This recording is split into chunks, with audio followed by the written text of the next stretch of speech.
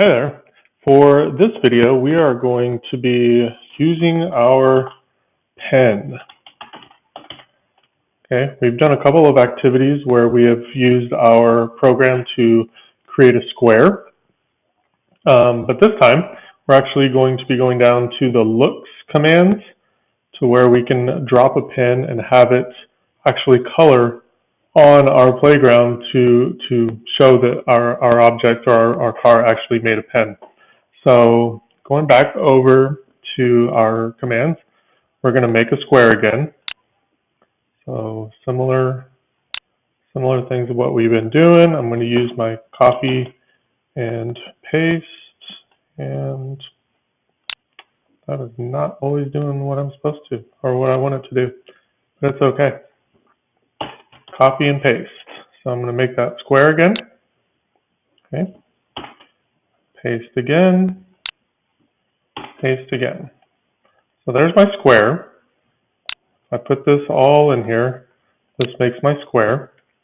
Right, and so we'll test this really quickly. Remember, a lot of a lot of programming comes back to trial and error and trying different things and you know adjusting numbers uh, that's something that we really haven't done since we've started this is changed our number here.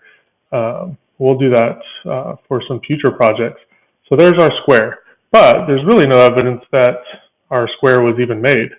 So now I'm going to add in a drop the pen down. So I'm going to put in move robot pen down. Okay. And then I want it to be this first leg, I want it to be black. Then, just for kicks and giggles with this, I'm going to have it change the color for every side of the square that it creates. So after it turns, the color is going to change. We're going to see how this how this works. Okay. The final color is blue.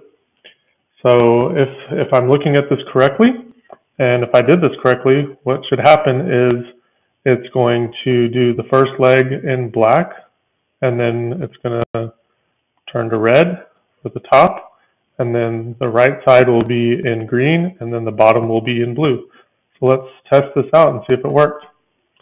All right, so reset it, press play, and there's my black pen. There it turns red, there it turns green, and that last one is blue.